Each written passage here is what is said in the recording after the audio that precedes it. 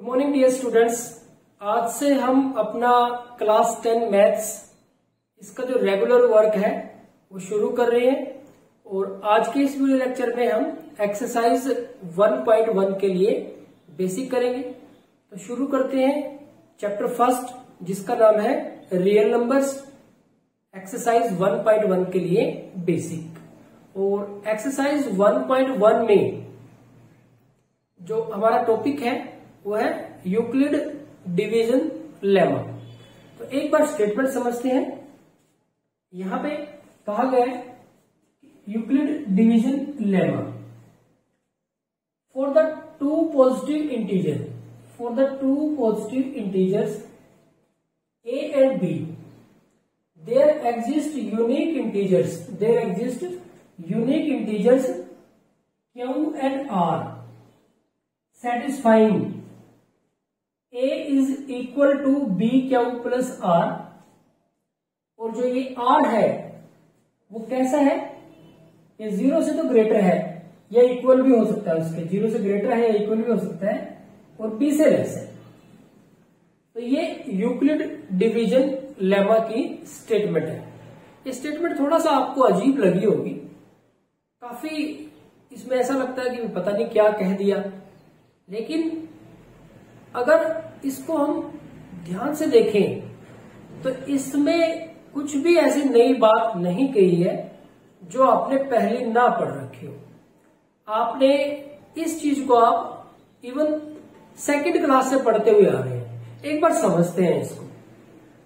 हम अगर बात करें कि हमें थर्टीन को फाइव से डिवाइड करना है। जब हम थर्टीन को फाइव से डिवाइड करते हैं तो हम कुछ इस तरह से चलते हैं। ये हमारे पास थर्टीन है।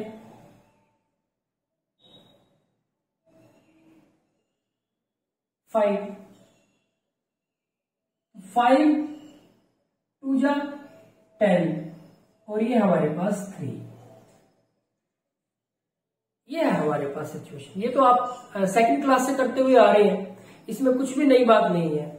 अब आप देखें कि जो ये थर्टीन है, ये जो हमारे पास थर्टीन है थर्टीन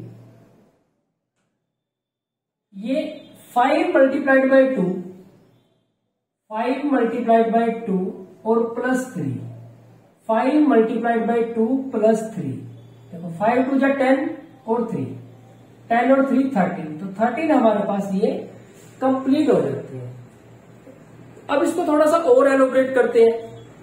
तो अगर हम कहें, अगर हम कहें कि यहाँ पे जो ये थर्टीन है, ये है डिविडेंड यहाँ पे जो फाइव है, वो है डिवाइजर यहाँ जो टू है, वो है क्वेश्चन और सोल्व करने के बाद जो हमारे पास बच गया, वो है रिमाइंडर ये आपके पास टर्म्स है। तो आप देखेंगे कि जो डिविडेंड है dividend that is equal to divisor divisor multiplied by quotient multiplied by quotient plus remainder ये होता है हमारे पास अब वो ये कह रहे हैं अब आप ध्यान से देखें कि थर्टीन फाइव हमारे पास। टू पॉजिटिव नंबर थे। तो थर्टीन और फाइव हमारे पास टू पॉजिटिव नंबर थे। तो ये हमारा ए है और ये हमारा बी है। तो जब हमने ए को अंदर लिखा और बी से जब उसको डिवाइड किया बी से जब उसको डिवाइड किया तो हमारे पास सिचुएशन क्या आई? हमारे पास सिचुएशन क्या आई? कि कुछ ना कुछ क्वेश्चन आया होगा। क्वेश्चन हमारे पास कितना आया?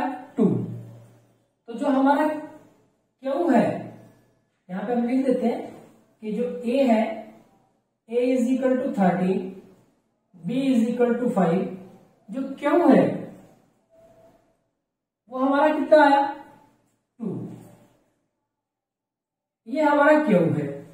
और जो सोल्व करके हमारे पास आ जाएगा, वो रिमाइंडर है, वो आर है। तो आर की वैल्यू हमारे पास कितनी आई? आर की वैल्यू कितनी आई? थ्री तो यही तो है।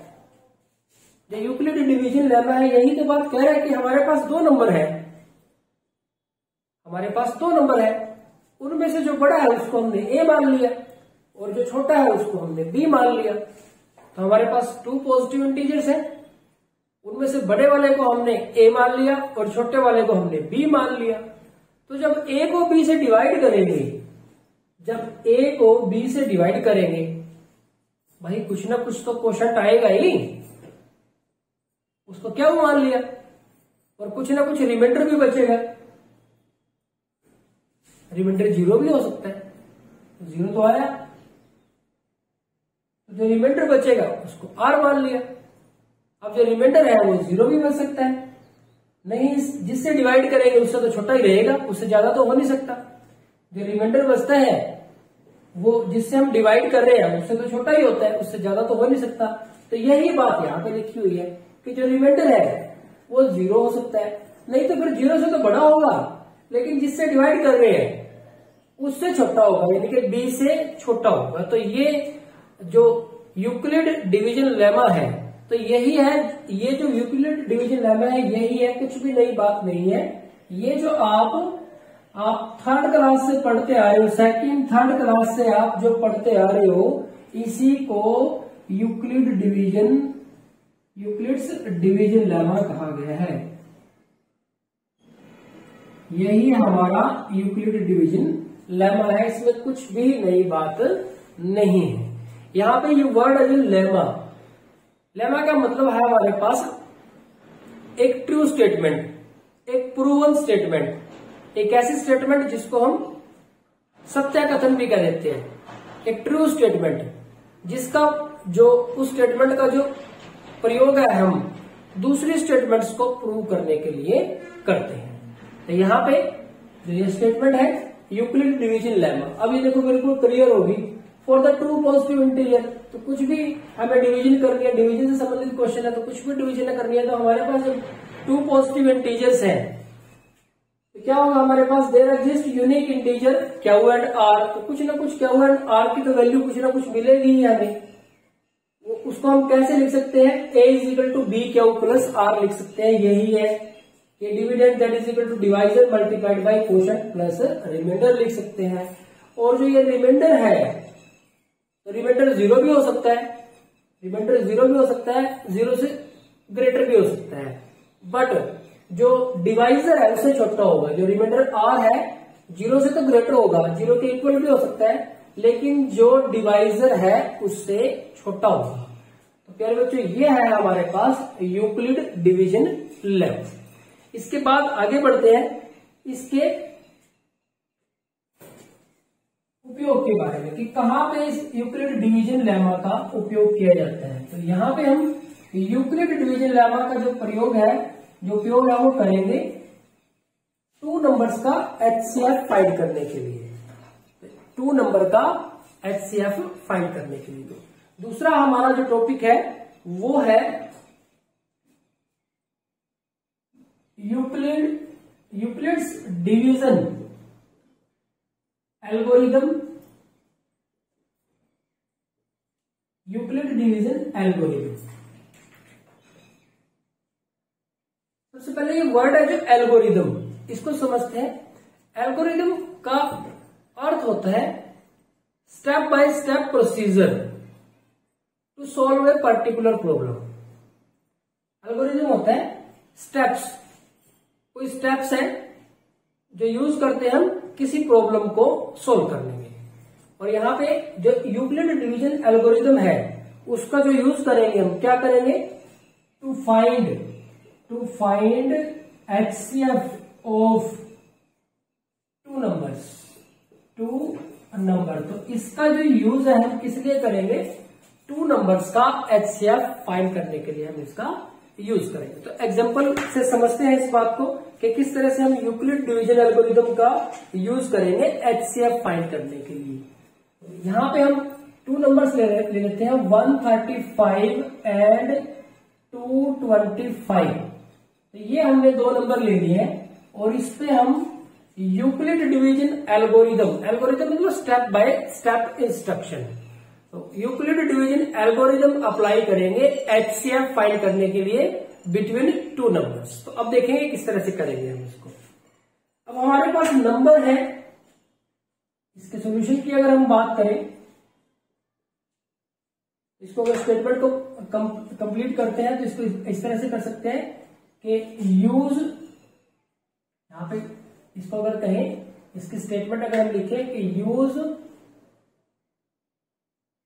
Euclid's division algorithm to find to find the HCF of HCF of 135 and 225 तो हमें HCF फाइंड करना है। यूक्लिड एल्गोरिदम का यूज़ करके। किस किस का? 135 का और 225 का। तो अब इसके सॉल्यूशन की अगर हम बात करें, यहाँ पे तो सबसे पहले आप देख लें कि टू नंबर्स कौन कौन से हैं? Solution given numbers are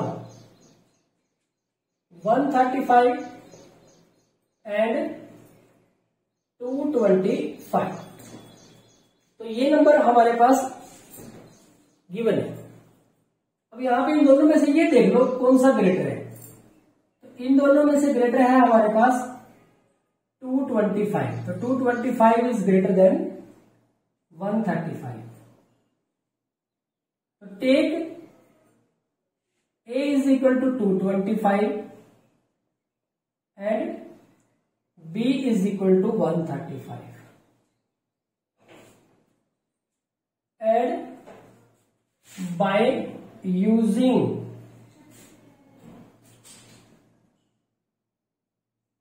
Euclid's division lemma तो यूक्लिड डिवीज़न लेमा हम यूज़ करके अब देखेंगे कि किस तरह से इसको सोल्व करेंगे। यूक्लिड डिवीज़न लेमा में हमारे पास क्या है? जो ग्रेटर है, उसको अंदर लिख दिया। और जो लेस है, उसको स्मॉलर है, उसको बाहर लिख दिया। 135 थर्टी फाइव बन जा 135 ये इसमें से माइनस कर दिए ज़ीरो नाइन और ये ज़ीरो तो ये रह गया हमारे पास। नाइनटी रह गया। तो हमारा स्टेप फ़र्स्ट क्या हो गया? स्टेप फ़र्स्ट तो स्टेप फ़र्स्ट क्योंकि जो यूक्लिड डिवीज़न एल्गोरिथम है, वो क्या है? स्टेप्स है। Step by step instruction to solve a particular problem और प्रॉब्लम क्या है हमारी? कि हम एच सी एफ़ फाइंड कर रहे हैं। तो स्टेप फ़र्स्ट क्या हुआ? हम 225 225 इसको लिख सकते हैं 135 multiplied by 135 multiplied by 1 plus 90 तो ये हमारा स्टेप फ़र्स्ट हो गया। तो स्टेप बाय स्टेप चल रहे हैं। हमें क्या करना है? एच सी एफ़ फाइंड करना अब सेकंड स्टेप पे आ जाओ। अब देखो, इन दोनों नंबर की बात करेंगे। अब 135 और 90 में से 90 लेस है और 135 ग्रेटर है। तो अब की बार 90 को बाहर निकाल देंगे और 135 को अंदर ये ज़ीरो यहाँ से। ठीक लगेगा थोड़ा सा। नाइन्टी और वन थर्टी फाइव तो नाइन्टी बन जाए नाइन्टी अब फिर माइनस कर देते हैं। तो ये फाइव और ये फोर ज़ीरो लगा लो अब ये ये फिर रहने दो आपकी मर्ज़ी है। तो अब ये आ गया हमारे पास। तो हम अब लिखेंगे स्टेप सेकंड अगेन फिर same process step second step second है हमारे पास। अब हम ये काम किसके लिए करेंगे वन थर्टी फाइव के लिए? तो 135 that is equal to 90 multiplied by 1 90 multiplied by 1 plus 45 ये हमारे पास हो गया स्टेप सेकंड अब फिर आगे बढ़ते रहेंगे। जब तक चलते रहेंगे, तब तक ज़ीरो नहीं आ जाता। अब 90 और 45 में 90 को हम अंदर लिख देते हैं, क्योंकि ये ग्रेटर है 45 को हम बाहर लिख देते हैं। अब 45 टू या 90 होता है। तो ये हमारे पास ज़ीरो बच गया। अब हमारे पास आ जाएगा स्टेप थर्ड तो स्टेप थर्ड क्या हो गया हमारे पास? स्टेप थर्ड स्टेप थर्ड में आ गया हमारे पास नाइन्टी थर्ड की बात। तो ninety that is equal to forty five multiplied by two और plus zero.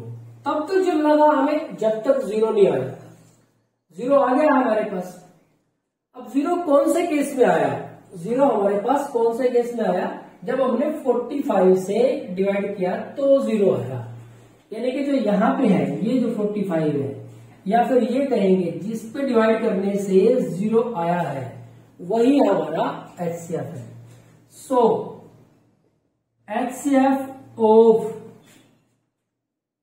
225 and 135 that is equal to 45 तो ये हमारे पास इसका आंसर आया प्यारे बच्चों, इस तरह से आप यूक्लिड डिवीज़न एल्गोरिदम यूज़ करेंगे। एल्गोरिदम क्या होता है? स्टेप बाय स्टेप इंस्ट्रक्शन तो यहाँ पे कितने स्टेप बने? इस प्रॉब्लम को सोल्व करने के लिए यहाँ पे हमारे पास थ्री स्टेप्स बने। ऐसा भी हो सकता है कि एक स्टेप में सोल्व हो जाए। ऐसा भी हो सकता है कि टू स्टेप्स में सोल्व हो ऐसा भी हो सकता है कि टेन स्टेप्स हो जाए। तो ये डिपेंड करता है ना आपके पास नंबर्स कैसे हैं। लेकिन बार बार आप क्या करेंगे? यूक्लिड डिवीज़न लेमा है जो।